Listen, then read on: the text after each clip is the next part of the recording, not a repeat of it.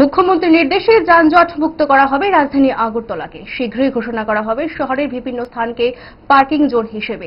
বৃহস্পতিবার জায়গা পরিদর্শনে বের হয়েছেন additional municipal commissioner Mohammad Sajad. এদিন মিউনিসিপাল কমিশনার শহরে বিভিন্ন স্থান পরিদর্শন করেছেন। পরে সাংবাদিকদের মুখোমুখি হয়ে বলেন, আগামী এক মাসের মধ্যে জায়গা নির্ধারণ করে সংশ্লিষ্ট জায়গাগুলিকে ডেভেলপমেন্ট করা হবে পার্কিং জোনের জন্য। তারপর সেই সমস্ত স্থানে শহরের আসা লোকজন যানবাহন পার্কিং করতে পারবে স্বাচ্ছন্দ্যে। তবে এই মুহূর্তে বলা সম্ভব হচ্ছে না কতগুলি পার্কিং জোন ফ্রি পার্কিং হবে এবং কতগুলি পার্কিং জোন পেইড পার্কিং হবে সেটা পরবর্তী সময় সিদ্ধান্ত গ্রহণ করে জানিয়ে দেওয়া হবে শহরবাসীকে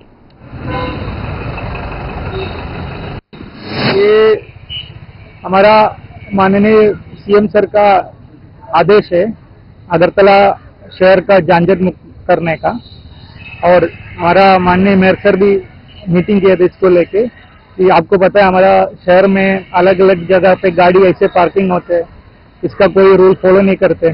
तो इस, इसीलिए बहुत जानजट होता है। तो वो जानजट मुक्त करने के लिए गवर्नमेंट का जो आदेश है, वो इम्प्लीमेंट करने के लिए हम लोग आए हैं। तो जैसे पार्किंग को जो एरिया अभी लोग इसीलिए पार्किंग रूल फॉलो नहीं करते, एक रीजन ये होता है, इनको पार्क करने के लिए अच्छे से जगह नहीं है। तो पार्किंग करने के लिए, जगह बनाने के लिए हम विज़िट कर रहे हैं कहाँ कहाँ हम जगह बना सकते कैसे बना सकते उतना ही है, ठीक है? धन्यवाद।